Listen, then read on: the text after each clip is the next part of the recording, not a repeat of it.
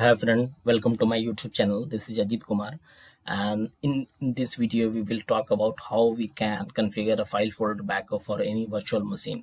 So in previous video I talked about uh, about the VM uh, full backup. So now in, in this video I will talk about the file folder backup. So for that you just go to the vault. So this is the vault in which the, the VM um, backup is configured. So now I'm going to the vault and first of all you go to the properties here and after that you you will get this option available recovery service agent. So you need to download this okay? So basically this is a called mars agent uh, installer. Now microsoft azure site uh, recovery service agent. So and parallelly you need to download the backup credential as you can see here. So it will be uh, act as a credential manager. So just click over uh, check, uh, check that and download that.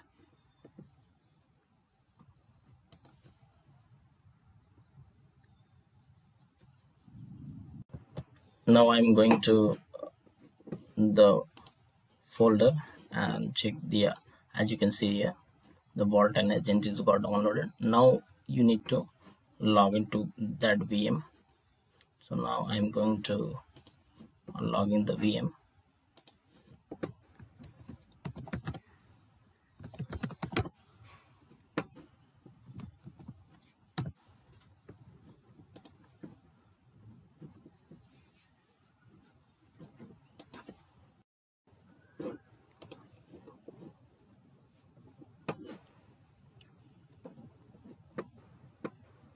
so i'm logged in my vm successfully. Now you have to copy both the file to the that vm.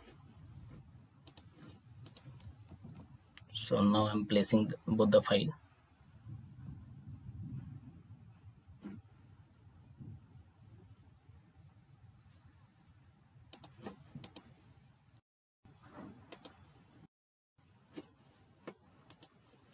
so finally uh, both the file is copied on the VM. So now I'm going to run the installer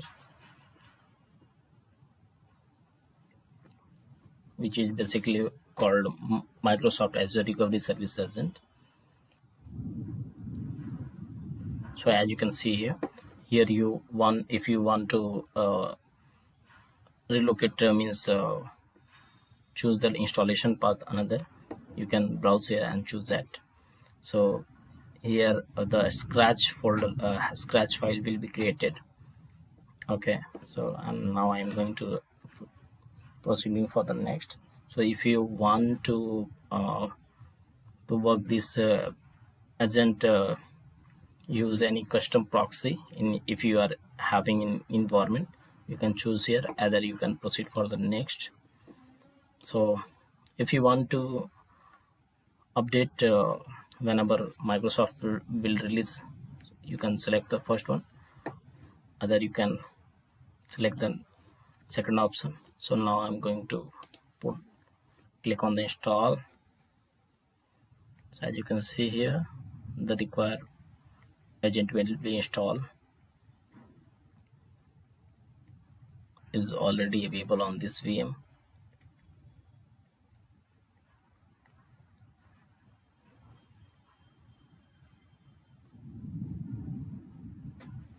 so finally the installation is completed. Now after that you can proceed for the registration.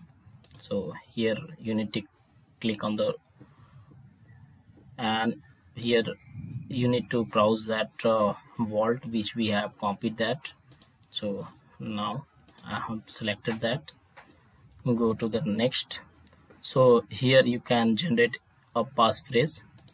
Okay it will uh, basically create a passphrase if you want and here you need to map the location where you want to means place that passphrase in future. If you uh, if it will required in the future just browse and put that so that uh, in the in the mention location a or text will be generated so now i'm going to finish finish this so it's asking basically uh, to save this uh, password in another location. So i'm clicking on no. So i'm going to the finish.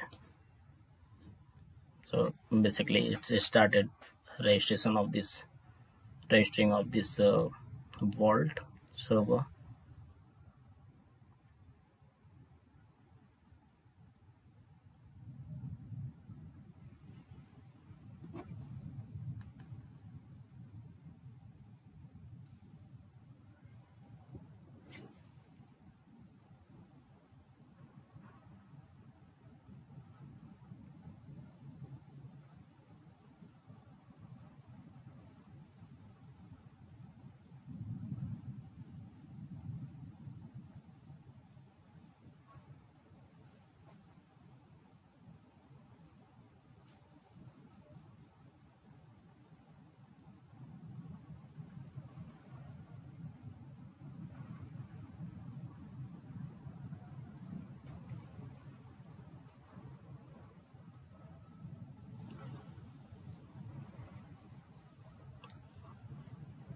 so as you can see here here we uh, got the warning uh, since we have uh, placed this uh, vault in the desktop that's why.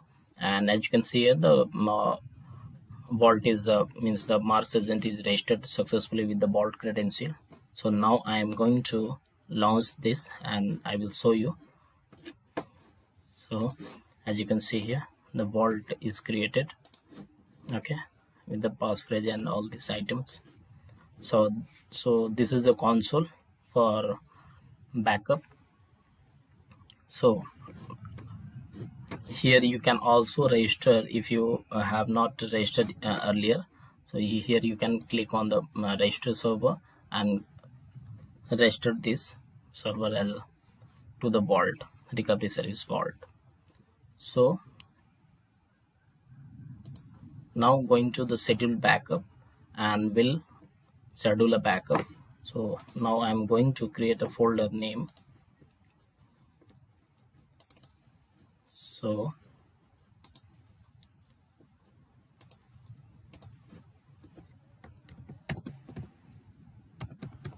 so now I'm, now I'm going to schedule a backup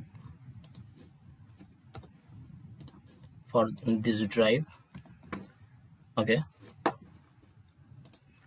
So here is the benefit is uh, you can uh, select entire drive or you can uh, select uh, uh, a specific folder or any specific file. So here you need to click on the add item and you will get all the drive available. So here you need to select the drive. So in my case i will i want backup of this folder which we have created. So here in the drop down you can select one by one. Okay.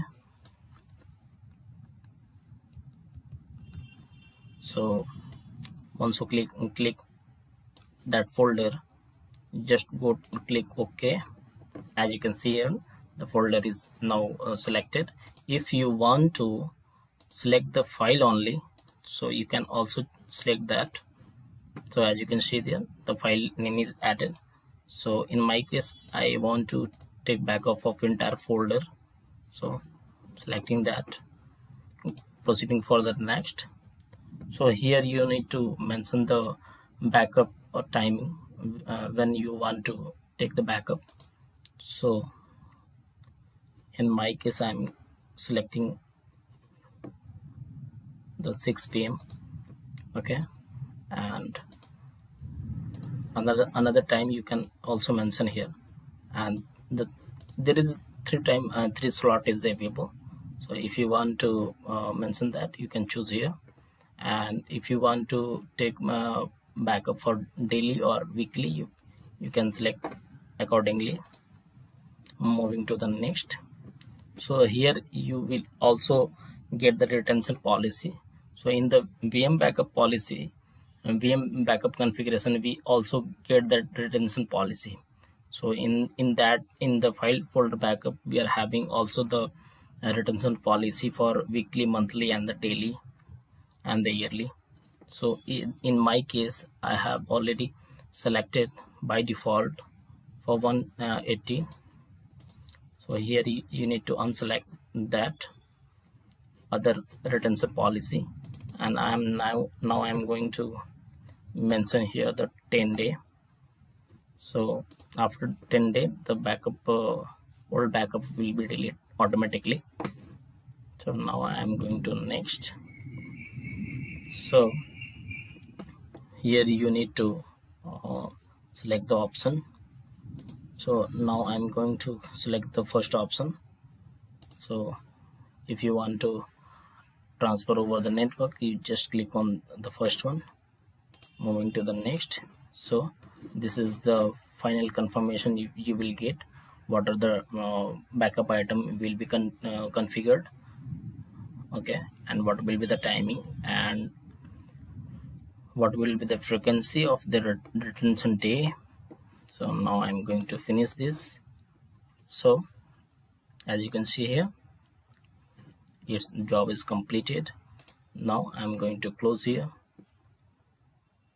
so after that you will get all the detail item available in the scheduled backup. So here here you will get the backup item we, which we have configured and the volume and the timing and uh, along with the retention. Okay? Backup uh, from this vm and the retention day all you will mm, uh, get here. And here you will get the job so once the backup will be triggered you will get here the job. If any alert or anything you will get from here. So apart from that we will you can also configure the network throttling. So let me show you how do we can change that. So for that you just go to the action and the change properties. So here you just go to the uh, throttling and enable the uh, throttling so that uh, in the off business hour if you want to um, minimize or maximize this uh, speed of the backup you can maximize or minimize here. So in my working hours and in, in the non working hour here is mentioned so you here you can select the I'm going to choose I'm going to choose the 1 Mbps for working hours. Okay. And for the non-working hour I'm going to keep the same one. So if you want to uh, select here you need to mention the working hour. Okay and the working days you need to select that okay and click ok. So that it will uh, increase the bandwidth or uh, uh, so configure reconfigure uh, configure the bandwidth of that uh, your uh, backup okay. So i'm now i'm going to click ok. So the throttling is now configured so this is all about how do we can configure a file folder backup in uh, for any virtual machine azure virtual machine. And uh, how do we can increase the throttling and we can schedule a job. So this is all about. So hope this video is really helpful to you. So please subscribe my channel and like this video. Thank you so much